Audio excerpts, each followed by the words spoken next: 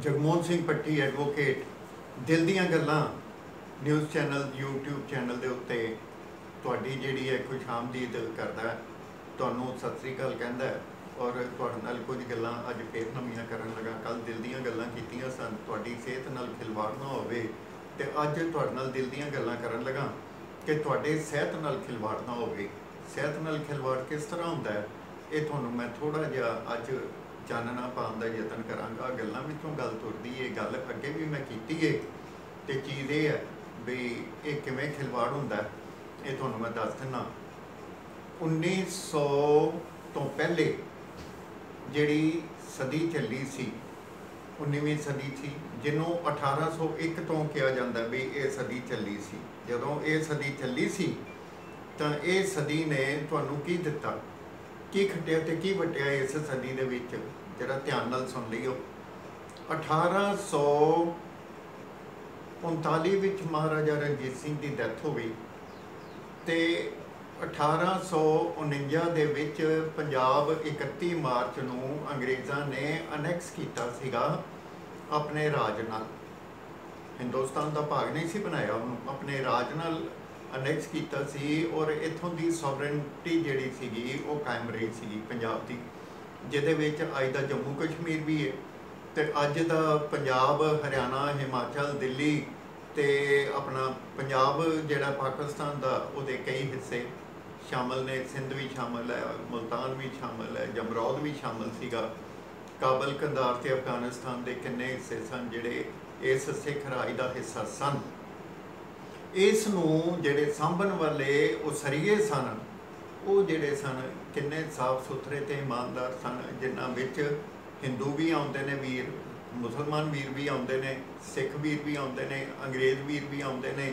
Even ਜਿਹੜੇ ਮਹਾਰਾਜਾ ਰਣਜੀਤ ਸਿੰਘ ਦੀ ਜਿਹੜੀ ਫੌਜ ਸੀ, ਉਹਦੇ ਵਿੱਚ ਜਿਹੜੇ ਜਰਨੈਲ ਸੀਗੇ ਵੈਂਤੂਰਾ ਵਰਗੇ ਜਾਂ ਹੋਰ ਜਿਹੜੇ ਕਾਬਲ ਜਰਨੈਲ ਸਿੱਖ ਫੌਜ ਦੀ ਜਿਹੜੀ ਹੈ ਨਿਗਰਾਨੀ, ਅਗਵਾਈ ਜਾਂ ਕਰਦੇ ਸਨ, ਕੋਈ ਵੀ ਮੁਹਿੰਮ ਚੱਲਦੀ ਸੀ, ਉਹ ਚੱਲਦੀ ਸੀ।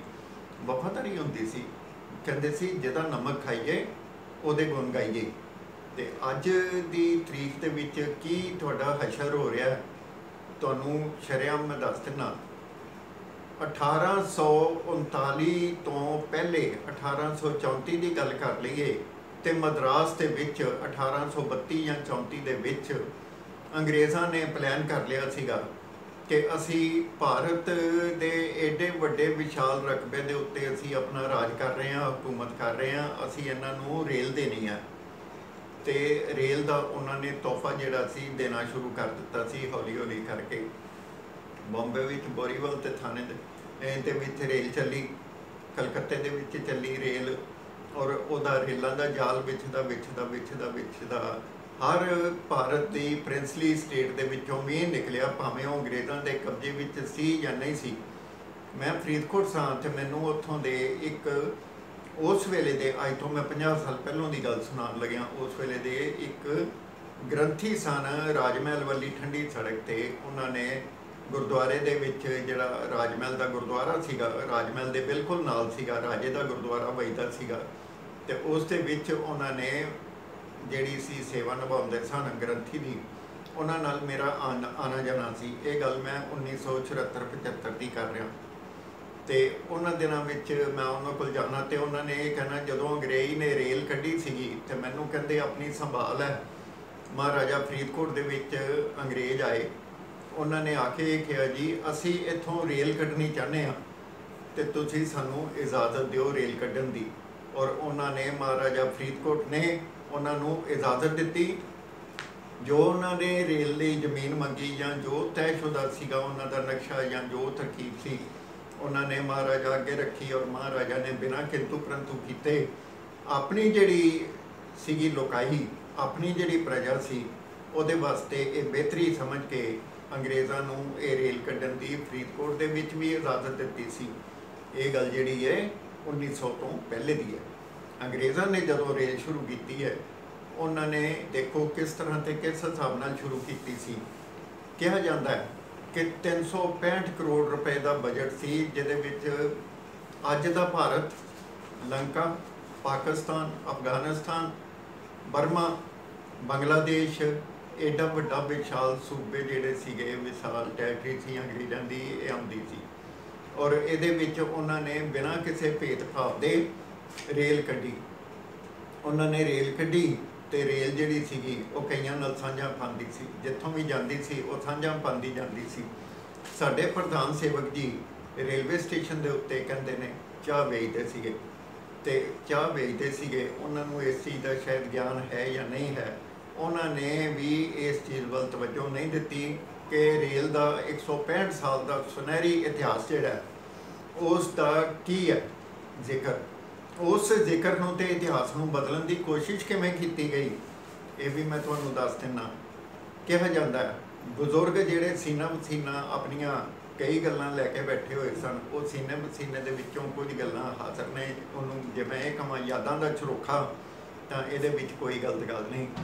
ਅੰਗਰੇਜ਼ਾਂ ਨੇ ਕਿਹਾ ਸੀਗਾ, ਇੰਗਲੈਂਡ ਦੇ ਵਿੱਚ ਆਪਣੇ ਜਿੰਨੇ ਅਮੀਰ ਸਨ ਅੰਗਰੇਜ਼ ਦੇ, ਉਹਨਾਂ ਨੂੰ ਇਹ ਕਿਹਾ ਸੀ ਵੀ ਅਸੀਂ ਭਾਰਤ ਦੇ ਵਿੱਚ ਰੇਲ ਪ੍ਰੋਜੈਕਟ ਸ਼ੁਰੂ ਕਰ ਰਹੇ ਹਾਂ, ਤੁਸੀਂ ਪੈਸਾ ਲਗਾਓ, ਤੁਹਾਨੂੰ ਫਾਇਦਾ ਮਿਲੇਗਾ। ਅੰਗਰੇਜ਼ਾਂ ਬਾਰੇ ਇਹ ਕਿਹਾ ਜਾਂਦਾ ਉਹ ਤਜਾਰਤੀ ਸਨ।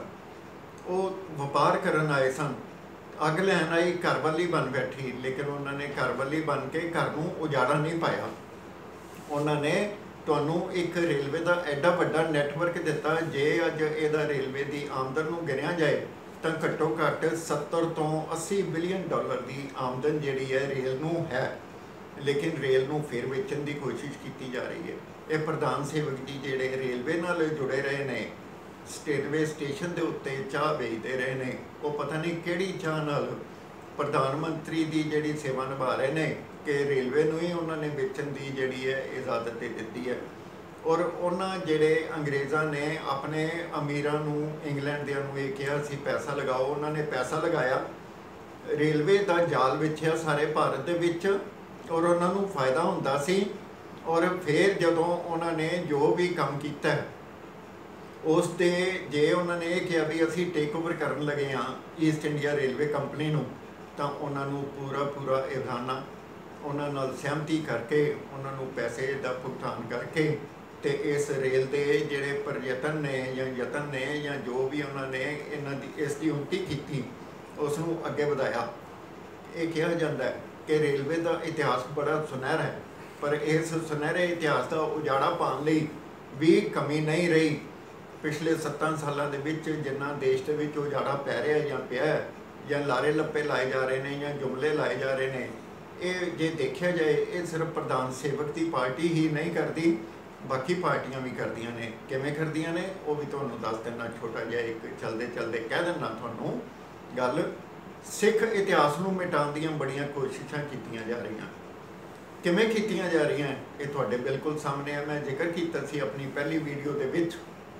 ਗੁਰਦੁਆਰਾ ਸ੍ਰੀ ਦਰਬਾਰ ਸਾਹਿਬ, ਤਰਨਤਾਰਨ ਸਾਹਿਬ ਦੇ ਉੱਤੇ ਸਰਦਾਰ ਕਰਮ ਸਿੰਘ, ਗੁਰੂ ਘਰ ਦੇ ਸਿੱਖ ਜਿਨ੍ਹਾਂ ਨੇ 800 ਕਿਲੋ ਤਾਂਬੇ ਦੇ ਉੱਤੇ 80 ਕਿਲੋ ਸੋਨਾ ਜਿਹੜਾ ਸੀਗਾ, ਲਗਾਇਆ ਸੀਗਾ। ਔਰ ਉਹ ਗੁਰੂ ਮਹਾਰਾਜ ਦੀ ਮਿਹਰ ਨਾਲ ਉਹ ਇੰਨੇ ਕੁ ਸਨ ਸਮਰੱਥ ਕਿ ਉਹਨਾਂ ਨੇ ਕਿਸੇ ਤੋਂ ਵੀ ਕੋਈ ਇਹ ਨਹੀਂ ਕਿਹਾ ਵੀ ਤੁਸੀਂ ਸੇਵਾ ਕਰ ਲਓ ਜਾਂ ਮੈਂ ਸੇਵਾ ਇਕੱਠੀ ਕਰਨ ਲਗਾ, ਇਹ ਕੰਮ ਕਰਨ ਲਗਾ। ਔਰ ਉਸ ਦੇ ਇਵਜ ਵਜੋਂ ਮਹਾਰਾਜਾ ਰਣਜੀਤ ਸਿੰਘ ਨੇ ਜਿਹੜਾ ਸਰ- ਦਰਬਾਰ ਸਾਹਿਬ ਸ੍ਰੀ ਅੰਮ੍ਰਿਤਸਰ ਤੇ ਸੋਨਾ ਲਗਾਇਆ ਸੀ, ਉਹਦੇ ਉੱਤੇ ਉਹ ਲਿਖਿਆ ਗਿਆ ਸੀ ਪੱਤਰੇ ਉੱਤੇ ਸੇਵਾ ਕਰਾਈ ਮਹਾਰਾਜਾ ਰਣਜੀਤ ਸਿੰਘ ਵੱਲੋਂ। ਤੇ ਇੱਥੇ ਦਰਬਾਰ ਸਾਹਿਬ ਸ੍ਰੀ ਤਰਨਤਾਰਨ ਦੇ ਪੱਤਰਿਆਂ ਦੇ ਉੱਤੇ ਇਹ ਲਿਖਿਆ ਗਿਆ ਸੀ ਸਰਦਾਰ ਕਰਮ ਸਿੰਘ ਸਿੱਖ ਜਿਹੜੇ ਨੇ ਗੁਰੂ ਘਰ ਦੇ ਉਹਨਾਂ ਨੇ ਇਹ ਸੇਵਾ ਕੀਤੀ। ਉਹ ਜਿਹੜੀਆਂ ਫੋਟੋਆਂ ਤਸਵੀਰਾਂ ਨੇ ਉਹ ਅੱਜ ਵੀ ਮੇਰੇ ਕੋਲ ਮੌਜੂਦ ਨੇ ਔਰ ਉਹਦਾ ਰਿਕਾਰਡ ਜਿਹੜਾ ਹੈ, ਖਤੋ ਜਿਹੜੀ ਹੈ ਉਹ ਵੀ ਮੇਰੇ ਕੋਲ ਮੌਜੂਦ ਹੈ। ਜੇ ਕੋਈ ਵੀ ਸੱਜਣ ਇਹ ਦੇਖਣੀ ਚਾਹਵੇ ਕਿਸੇ ਵੇਲੇ ਵੀ ਮੈਨੂੰ ਫੋਨ ਕਰ ਸਕਦਾ ਕਮੈਂਟ ਪਾ ਕੇ ਮੇਰੇ ਤੋਂ ਮੰਗ ਸਕਦਾ ਔਰ ਮੈਂ ਇੱਥੇ ਇੱਕ ਗੱਲ ਕਹਿਣੀ ਚਾਹਾਂਗਾ। ਇਸ ਚੀਜ਼ ਦਾ ਜਿਹੜਾ ਹੈ ਬਿਰਤਾਂਤ ਅਸ਼ਟ ਗੁਰੂ ਚਮਤਕਾਰ ਭਾਈ ਵੀਰ ਸਿੰਘ ਦੇ ਕਿਤਾਬ ਦੇ ਵਿੱਚ ਆਉਂਦਾ ਜ਼ਿਕਰ ਹੁੰਦਾ ਇਸ ਚੀਜ਼ ਦਾ ਸਰਦਾਰ ਕਰਮ ਸਿੰਘ ਸਿੱਖ ਦਾ ਜ਼ਿਕਰ ਆਉਂਦਾ ਹੈ, ਜਿਨ੍ਹਾਂ ਨੇ ਦਰਬਾਰ ਸਾਹਿਬ ਸ੍ਰੀ ਤਰਨਤਾਰਨ ਅੰਮ੍ਰਿਤ ਉਸ ਵੇਲੇ ਅੰਮ੍ਰਿਤਸਰ ਸੀ ਇਸ ਵੇਲੇ ਜ਼ਿਲ੍ਹਾ ਤਰਨਤਾਰਨ ਹੈ ਦੀ ਸੇਵਾ ਕਰਾਈ। ਔਰ ਜਿਹੜੀ ਸੇਵਾ ਬਾਬਿਆਂ ਨੇ ਕੀਤੀ ਹੈ ਉਹ ਵੀ ਤੁਹਾਡੇ ਤੋਂ ਗੁੱਝੀ ਚਿੱਪੀ ਨਹੀਂ। ਉਹਨਾਂ ਨੇ ਸਾਰਾ ਸੋਨਾ ਤੇ ਸਾਰੇ ਪੱਤਰੇ ਜਿਹੜੇ ਨੇ ਉਹ ਵੇਚ ਦਿੱਤੇ ਤੇ ਨਵੇਂ ਪੱਤਰੇ ਤੇ ਨਵੇਂ ਸੋਨਾ ਇਕੱਠਾ ਕਰਕੇ ਉਹਨਾਂ ਨੇ ਸੇਵਾ ਕਰਾ ਲਈ। ਦੇਖੋ, ਸਿੱਖ ਕੌਮ ਦੇ ਨਾਲ, ਸਿੱਖ ਧਰਮ ਦੇ ਨਾਲ, ਸਿੱਖ ਇਤਿਹਾਸ ਦੇ ਨਾਲ ਕਾਰ ਸੇਵਾ ਵਾਲੇ ਬਾਬਿਆਂ ਨੇ ਇਹ ਕਿਸ ਤਰ੍ਹਾਂ ਦਾ ਕੰਮ ਕੀਤਾ ਗੱਲ? ਇੱਥੇ ਹੀ ਨਹੀਂ ਮੁੱਕਦੀ ਗੱਲ, ਅੱਗੇ ਵੀ ਚੱਲੀ ਏ। ਇੱਕ ਨਵਾਂ ਪਬਲੀਕੇਸ਼ਨ ਆਇਆ, ਗੁਰੂ ਅਸ਼ਟ ਚਮਤਕਾਰ ਭਾਈ ਵੀਰ ਸਿੰਘ ਰਚਤ ਲਿਖਤ ਦਾ, ਜਿਸ ਨਾਲ ਇਹ ਦੱਸਣ ਦਾ ਯਤਨ ਕੀਤਾ ਗਿਆ ਸਰਦਾਰ ਕਰਮ ਸਿੰਘ ਨੇ ਪੈਸੇ ਇਕੱਠੇ ਕਰਕੇ ਉਹਨਾਂ ਨੇ ਇਹ ਸੇਵਾ ਕਰਾਈ।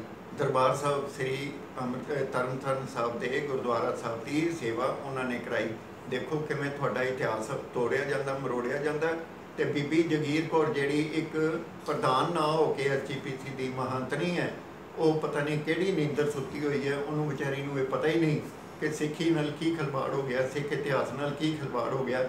ਅੱਜ ਇਹ ਵੀ ਕਿਹਾ ਜਾਂਦਾ ਹੈ ਜਿਹੜੇ ਸਰੂਪ ਅਹ, 200 ਤੋਂ ਵੱਧ ਗਿਣਤੀ ਵਿੱਚ ਇਸ ਵੇਲੇ ਗੁੰਮ ਨੇ ਔਰ ਜਿਹਦਾ ਰੌਲਾ ਪਿਆ ਹੋਇਆ ਹੈ ਉਸ ਉਹ ਜਿਹੜੇ ਨੇ ਉਹ ਸਾਰੇ ਨਾਗਪੁਰ ਦੇ ਵਿੱਚ ਪਹੁੰਚੇ ਹੋਏ ਨੇ ਤਾਂ ਕਿ ਉੱਥੇ ਜਿਹੜਾ ਉਹਨਾਂ ਸਰੂਪਾਂ ਦੇ ਵਿੱਚ ਗੁਰਬਾਣੀ ਨੂੰ ਕਿਸੇ ਵੀ ਤਰ੍ਹਾਂ ਜਿਹੜਾ ਸਾਂਭ ਕੇ ਨਾ ਰੱਖਿਆ ਜਾ ਸਕੇ ਔਰ ਉਹ ਚੀਜ਼ ਤੁਹਾਡੇ ਕੋਲ ਸਾਹਮਣੇ ਨਾ ਆ ਸਕੇ। ਤੁਸੀਂ ਆਪਣੇ ਸਿੱਖ ਇਤਿਹਾਸ ਨੂੰ ਆਪਣੇ ਸਿੱਖ ਪੰਜਾਬ ਦੇ ਇਤਿਹਾਸ ਨੂੰ, ਆਪਣੇ ਹਿੰਦੁਸਤਾਨ ਦੇ ਇਤਿਹਾਸ ਨੂੰ ਤੁਸੀਂ ਦੇਖੋ, ਆਪਣੀਆਂ ਅੱਖਾਂ ਸਾਹਮਣੇ ਟੁੱਟਦਾ ਦੇਖ ਰਹੇ ਹੋ, ਵਿਖਦਾ ਦੇਖ ਰਹੇ ਹੋ, ਇਹਨੂੰ ਕੁਝੀਆਂ ਸਾਜ਼ਿਸ਼ਾਂ ਦਾ ਸ਼ਿਕਾਰ ਹੁੰਦਾ ਦੇਖ ਰਹੇ ਹੋ ਤੇ ਤੁਸੀਂ ਇੱਥੋਂ ਅੰਦਾਜ਼ਾ ਲਾਓਗੇ ਕਿ ਜਿਹੜੀ ਤੁਸੀਂ 1000 ਸਾਲ ਦੀ ਗੁਲਾਮੀ ਸਹੀ ਹੈ, ਤੁਸੀਂ ਉਹੋ ਜਿਹੇ ਕਰਤੱਵ ਕਰ ਰਹੇ ਹੋ ਤੇ ਅਗਲੇ 1000 ਸਾਲ ਲਈ ਭਾਰਤ ਤੇ ਭਾਰਤ ਦੇ ਲੋਕਾਂ ਨੂੰ, we the people of India ਨੂੰ ਜਿਹੜੇ ਸੰਵਿਧਾਨ ਦੇ ਥੱਲੇ ਨੇ ਉਹਨਾਂ ਨੂੰ ਗੁਲਾਮ ਕਰਨ ਦਾ ਇੱਕ ਜਿਹੜਾ ਯਤਨ ਹੋ ਰਿਹਾ, ਜਿਹੜੀ ਸਾਜ਼ਿਸ਼ ਹੋ ਰਹੀ ਹੈ, ਉਹਨੂੰ ਤੁਸੀਂ ਨਾਕਾਮ ਕਰਨ ਦੇ ਵਿੱਚ ਬੁਰੀ ਤਰ੍ਹਾਂ ਨਾਕਾਮ ਰਹਿ ਰਹੇ ਹੋ। ਮੈਂ ਤੁਹਾਨੂੰ ਇਹ ਬੇਨਤੀ ਕਰਦਾ, ਉਠੋ, ਜਾਗੋ ਔਰ ਇਸ ਚੀਜ਼ ਨੂੰ ਦੇਖੋ। ਭਾਰਤ ਦੇ ਇਤਿਹਾਸ ਦੇ ਨਾਲ, ਭਾਰਤ ਦੀ ਏਕਤਾ ਦੇ ਨਾਲ, ਭਾਰਤ ਦੀ ਅਖੰਡਤਾ ਦੇ ਨਾਲ ਜੇ ਕੋਈ ਵੀ ਸੱਜਣ ਕਿਸੇ ਤਰ੍ਹਾਂ ਦਾ ਵੀ ਖਿਲਵਾੜ ਕਰਦਾ ਭਾਵੇਂ ਉਹ ਕੋਈ ਵੀ ਹੈ, ਭਾਵੇਂ ਉਹ ਪਬਲਿਸ਼ਰ ਹੈ, ਭਾਵੇਂ ਉਹ ਸਾਹਿਤਕਾਰ ਹੈ, ਭਾਵੇਂ ਉਹ ਕਿੱਡਾ ਵੱਡਾ ਵੀ ਆਦਮੀ ਹੈ, ਉਹਦੇ ਉੱਤੇ ਮੰਗ ਕਰਦੇ ਆ ਅਸੀਂ ਭਾਰਤ ਦੇ ਲੋਕ ਕਿ ਉਹਨਾਂ ਉੱਤੇ ਯੂਏਪੀਏ ਉਸੇ ਤਰ੍ਹਾਂ ਲਗਾਇਆ ਜਾਵੇ, ਜਿਸ ਤਰ੍ਹਾਂ ਭਾਰਤ ਦੀ ਆਮ ਜਨਤਾ ਦੀ ਜ਼ਬਾਨ ਜਿਹੜੀ ਹੈ, ਉਹਨੂੰ ਬੰਦ ਕਰਨ ਦਾ ਇੱਕ ਕੁਝ ਯਤਨ ਕੀਤਾ ਜਾਂਦਾ ਹੈ। ਜਦੋਂ ਰੇਲ ਆਂਦੀ ਸੀਗੀ, ਉਹ ਕਈਆਂ ਨਾਲ ਸਾਂਝਾ ਪਾਉਂਦੀ ਸੀ। ਇੱਕ ਗਾਣਾ ਸੀ ਪੰਜਾਬੀ ਦਾ ਬੜਾ ਮਸ਼ਹੂਰ, ਛਕ ਛਕ ਗੱਡੀ ਕਰਦੀ ਜਾਵੇ ਆਂਦੇ ਜਾਂਦੇ ਸ਼ਹਿਰ। ਮੁੜ ਕੇ ਨਹੀਂ ਉਹ ਜਮਨਾ ਮਾਮਾ ਕਰ ਪੰਜਾਬ ਦੀ ਸੈਰ। ਉਹ ਕਿੰਨਾ ਸੋਹਣਾ ਗਾਣਾ ਸੀ ਤੇ ਕਿੰਨੀ ਸੁਹੱਪਨ ਜਿਹੜਾ ਸੀ ਉਸ ਗਾਣੇ ਦਾ ਜਦੋਂ ਫਿਲਮਾਇਆ ਗਿਆ ਤੁਸੀਂ ਦੇਖੋ ਉਸ ਪੁਰਾਣੀ ਪਿਕਚਰ ਨੂੰ। ਉਹਦੇ ਵਿੱਚ ਜਿਹੜੀ ਹੈ এনवायरमेंट ਦੀ ਕਿੰਨੀ ਵੱਡੀ ਜਿਹੜੀ ਤਾਕਤ ਸੀਗੀ, ਉਹ ਤੁਹਾਡੇ ਸਾਹਮਣੇ ਰੂਬਰੂ ਹੁੰਦੀ ਹੈ। ਉਹ ਮੈਂ ਤੁਹਾਨੂੰ ਦੱਸ ਸਕਦਾ। ਅੱਜ ਜਿਹੜੀ ਖਤੋ ਕਿਤਾਬਤ ਸਰਦਾਰ ਕਰਮ ਸਿੰਘ ਸਿੱਖ ਜਿਹੜੇ ਸਨ, ਜਿਨ੍ਹਾਂ ਨੇ ਦਰਬਾਰ ਸਾਹਿਬ ਸ੍ਰੀ ਅੰਮ੍ਰਿਤਸਰ ਦੇ ਉੱਤੇ ਸੋਨੇ ਦੀ ਸੇਵਾ ਕਰਾਈ ਸੀਗੀ, ਆਪਣੀ ਜੇਬ ਵਿੱਚੋਂ ਆਪਣੇ ਸਾਧਨਾ ਤੋਂ, ਆਪਣੇ ਸੋਰਸਿਸ ਤੋਂ, ਨਹੀਂ ਮੈਂ ਕਹਿ ਰਿਹਾ, ਆਪਣੇ ਸਾਧਾਂ ਤੋਂ, ਪਰਿਵਾਰਕ ਸਾਧਨਾ ਤੋਂ, ਉਹਨਾਂ ਨੂੰ ਸੇਵਾ ਨੂੰ ਕਿਵੇਂ ਰਲਗੜ ਕੀਤਾ ਜਾ ਰਿਹਾ, ਇਸ ਦੀ ਸਾਜ਼ਿਸ਼ ਪਿੱਛੇ ਕੌਣ ਹੈ? ਮੈਂ ਸ- ਅਕਾਲ ਤਖਤ ਦੇ ਜਥੇਦਾਰ ਗਿਆਨੀ ਹਰਪ੍ਰੀਤ ਸਿੰਘ ਨੂੰ ਇਹ ਬੇਨਤੀ ਕਰਦਾ ਕਿ ਇਹਦੇ ਵੱਲ ਥੋੜੀ ਜੀ ਤਵੱਜੋ ਕਰ ਲਓ। ਬਾਦਲਾਂ ਦੇ ਉੱਤੇ ਬੜੇ ਇਲਜ਼ਾਮ ਲੱਗ ਰਹੇ ਨੇ ਇਸ ਵੇਲੇ। ਬਾਦਲ ਅਕਾਲੀ ਦਲ ਦੇ ਉੱਤੇ ਬੜੇ ਇਲਜ਼ਾਮ ਲੱਗ ਰਹੇ ਨੇ। ਸਿੱਖ ਪੰਥ ਦੇ ਜਿਹੜੇ ਤੈਸ਼ੀ ਨੇ, ਉਹ ਇਸ ਬਾਰੇ ਕਿਉਂ ਚੁੱਪ ਨੇ? ਇਹ ਚੀਜ਼ ਦਾ ਇਸ ਵੇਲੇ ਸਿੱਖ ਕੌਮ ਜਵਾਬ ਮੰਗਦੀ ਹੈ। ਔਰ ਗਿਆਨੀ ਹਰਪ੍ਰੀਤ ਸਿੰਘ ਜੀ, ਤੁਸੀਂ ਵੀ ਜੇ ਥੋੜੀ ਜਿਹੀ ਤਵੱਜੋ ਦਿਓ, ਬੀਬੀ ਜਗੀਰ ਕੌਰ ਨੇ ਪਤਾ ਨਹੀਂ ਤਵੱਜੋ ਦੇਣੀ ਹੈ ਜਾਂ ਨਹੀਂ ਦੇਣੀ। ਐਸਜੀਪੀਸੀ ਦੀ ਪ੍ਰਧਾਨ ਜ਼ਰੂਰ ਹੈ, ਪਰ ਪ੍ਰਧਾਨ ਨਾ ਹੋ ਕੇ ਇੱਕ ਮਹੰਤਰੀ ਵਾਲਾ ਕੰਮ ਕਰ ਰਹੀ ਹੈ ਬੀਬੀ। ਮੈਂ ਬੀਬੀ ਜੀ, ਤੁਹਾਨੂੰ ਹੱਥ ਜੋੜ ਕੇ ਬੇਨਤੀ ਕਰਦਾ ਜੈਤੋਂ ਵਰਗੇ ਜਿਹੜੇ ਕਾਂਡ ਨੇ, ਉਹ ਤੁਹਾਡੀ ਜਿਹੜੀ ਟਰਮ ਦੇ ਵਿੱਚ ਹੋ ਗਏ ਨੇ ਤੇ ਕਿੰਨੇ ਐਸਜੀਪੀਸੀ ਦੇ ਜਿਹੜੇ ਮੁਲਾਜ਼ਮ ਨੇ, ਇਹੋ ਜਿਹੀਆਂ ਕਰਮਾਂ ਤੇ ਗੱਲਾਂ ਵਿੱਚ ਗਲਤਾਨ ਨੇ, ਤੁਸੀਂ ਇਸ ਨੂੰ ਥੋੜਾ ਜਿਹਾ ਸੋਚ ਲਓ, ਵਿਚਾਰ ਲਓ ਕੁਝ ਕਰ ਲਓ। ਜੇ ਤੁਹਾਨੂੰ ਗੁਰੂ ਮਹਾਰਾਜ ਨੇ ਕੋਈ ਬਖਸ਼ਿਸ਼ ਕੀਤੀ ਹੈ ਮੈਂ ਇਹ ਨਹੀਂ ਕਹਿੰਦਾ ਤੁਹਾਨੂੰ ਬਾਦਲਾਂ ਨੇ ਬਖਸ਼ਿਸ਼ ਕੀਤੀ ਹੈ ਜੇ ਗੁਰੂ ਮਹਾਰਾਜ ਨੇ ਬਖਸ਼ਿਸ਼ ਕੀਤੀ ਹੈ ਤੇ ਜ਼ਰੂਰ ਤੁਸੀਂ ਥੋੜਾ ਜਿਹਾ ਇਸ ਦਿਸ਼ਾ ਵੱਲ ਕਦਮ ਉਠਾਓਗੇ।